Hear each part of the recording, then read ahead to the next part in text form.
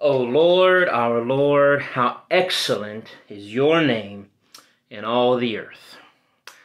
That's how the psalm starts that we're going to talk about today for this week. And that psalm is Psalm 8. If you want to turn there with me, uh, this is actually a psalm of David. And he begins this psalm with those words of, O Lord, our Lord, how excellent is your name in all the earth. And he actually ends his psalm with those same words as well. And it's what's in between those two statements that explains why our God, our Lord, is excellent and worthy of all praise in heaven and on earth. And that's what I want to talk about tonight and um, this day. I hope you can spend this time with me, and I'm glad to have you here. Um, if you're watching this and uh, be able to follow along, listen along, um, and let's share and to be reminded um, why our God is so excellent, uh, worthy of praise, and what He has done for us. And uh, really, some important thoughts that David uh, shares with us um, in this psalm, and some very humbling uh, thoughts and a very humbling reality. Um, we'll talk about that as we study this together. Let's go ahead and read it together. Psalm 8. It says, O Lord, our Lord, how excellent is your name in all the earth, who have set your glory above the heavens. Out of the mouth of babes and nursing infants you have ordained strength because of your enemies that you may silence the enemy and the avenger, he says. When I consider your heavens, the work of your fingers, the moon and the stars which you have ordained, what is man that you are mindful of him, and the Son of Man that you visit him?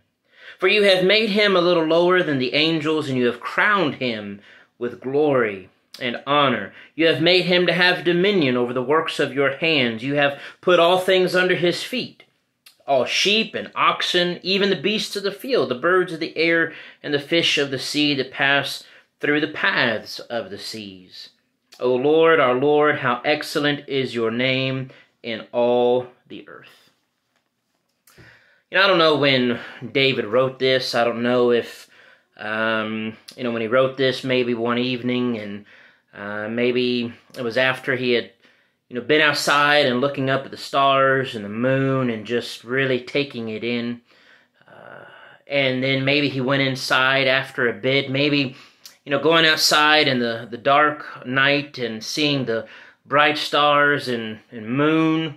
Um, and, or even maybe a day, um, or putting it all together. Um, here he does, I guess, mention the, the moon the stars. I mean, of course, you know, the daytime, you know, it'd be the mag, uh, majesty of the sun. You know, but maybe after that, David came in and sat down and began to write these thoughts. Or maybe he just one day was, you know, thinking about, uh, just in his own mind, you know, about the stars and the moon and, and the glory of God and creation and chose to sat down and write this. Whatever it was, whatever However, it you know stirred David up to sit down and write this. He he was looking at God's creation, thinking about God's creation, and thinking about God's awesome power, all that God has done. And it really made him feel small, made him feel insignificant, um, which is as it should be. Because, in the grand scheme of things, in reality, uh, we as human beings, in our flesh and in our sins and um, we are small. We are insignificant. Um, but that's where the awesomeness of our God comes in because to God, because to God we mean everything to Him. Uh, how much He loves us, what He's done for us. Of course, sending Jesus to die for us. But David, David begins here. He says, you know, in talking about to, to God that Lord, you are you're excellent. How excellent is your name in all the earth. He says, You have set your glory above the heavens. I mean, God is in heaven. He is above everything. He is awesome. He is powerful. Um, he, our, our Lord reigns uh, over everything. He created all things, as David is going to talk about.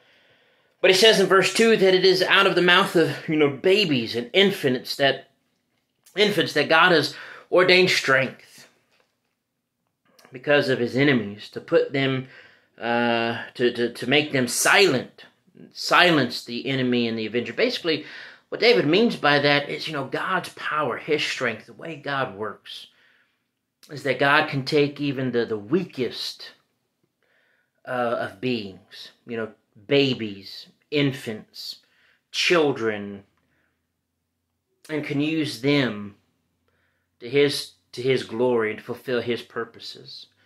Um, really, I think what he's getting at is even our own, you know, just weaknesses as human beings, but that God, even though we are weak and mortal and finite beings, by his glory and power and strength, God accomplishes his will to conquer his enemies and to be victorious, to give us victory in the end. And then David spends some time here, really, in the rest of the psalm, and, and David is just thinking about how God has created us. You know, that he says, When I consider your heavens, the work of your fingers, the moon, the stars which you have made, and, and David's looking around, and even we could do that today. We could, you know, at night, you know, go out, look at the stars, look at the moon, and in the daytime, look at the sun. You know, look at all of God's creation, all of the animals, the, the air, the, the, the wind, the, the seas, the uh, trees, plants, all animals, all things, our own, hu- our own human bodies, life, breath, existence. And David asks a really big question. Really, the, the most important question of, of them all, which is what we need to know.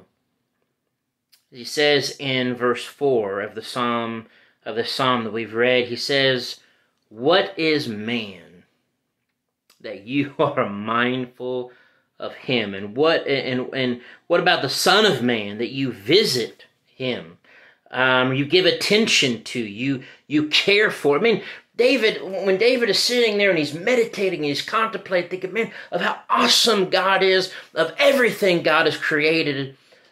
And then you look at man and all that i mean what who are we? Who am i I mean, I'm I'm weak. I'm I'm mortal. I'm I'm, I'm gonna die one day. I have no power. I have no glory. I you know, David says, you know, Lord God. I mean, what is man that you are mindful of him? Why do you care for us the way you do? Um, he says, You have made him a little lower than the angels. You've crowned him with glory and honor, which, you know, we don't deserve. I mean, um, ultimately, you know, he's this is going to apply to Jesus. Um, uh, there is definitely, um, this is going to be used to talk about Jesus later in the New Testament.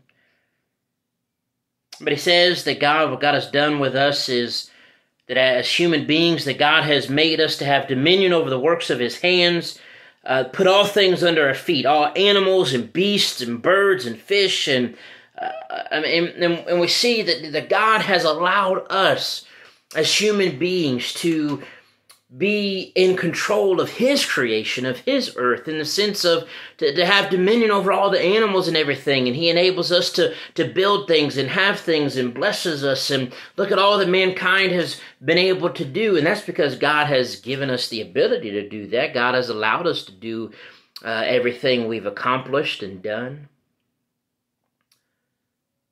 But when David sits back and he he thinks about who God is and who we are.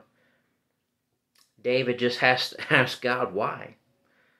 You know, why do you care for us the way you do? What what is man that you are mindful of him? You you care for him. I mean, we're we're not important, we're not significant, we're not powerful.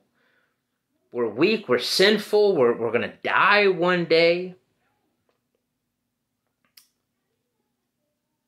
But it's because of God's love and care for us that shows us his excellence, his glory, as David concludes this psalm and says, O Lord, our Lord, how excellent is your name in all the earth. And he is excellent. He is majestic. He is awesome because of his wonderful, amazing grace and love.